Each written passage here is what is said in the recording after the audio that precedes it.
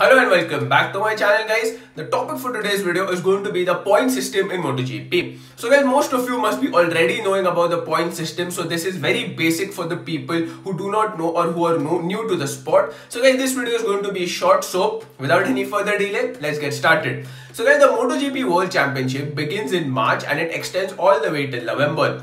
In this span guys, we have 19 different races and these races are called as Grand Prix. So guys, how is an overall world champion crowned at the end of the MotoGP season in November?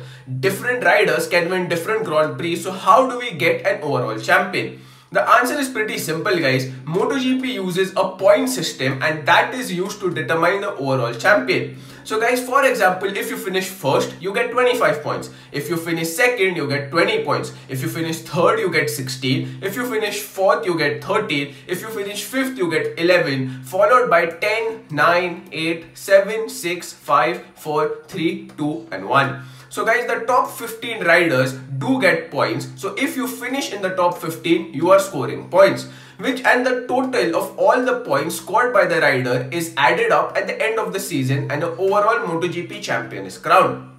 Guys, this point system is nothing new or specific to MotoGP. Most motorsports use this point system to actually deduce and get to an overall world champion at the end of the season. So guys, that was it for this video. Also, before I end the video, guys, I would like to ask you a simple question. Um, which is your favorite track in the MotoGP calendar? I want to know your thoughts. Leave your thoughts down below in the comments and also tell me why. I'll tell you my favorite guys. My favorite track is Phillip Island that is located in Australia. The reason is because it is located on the coast, we get a variety of weather so there is unpredictable racing. Also it is a very fast paced track so you get to see a lot of action and it is riders riding very very fast and I really like that. So my favorite would be Phillip Island. I would love to know your thoughts down below in the comment section. Also guys, that's it for this video. I hope you liked what you see. If you like what you see, hit the like button. If you dislike what you see, hit the dislike button twice Also guys, if you're new to my channel, please do not forget to hit the subscribe button, ding the notification bell and I'll see you guys in the next video.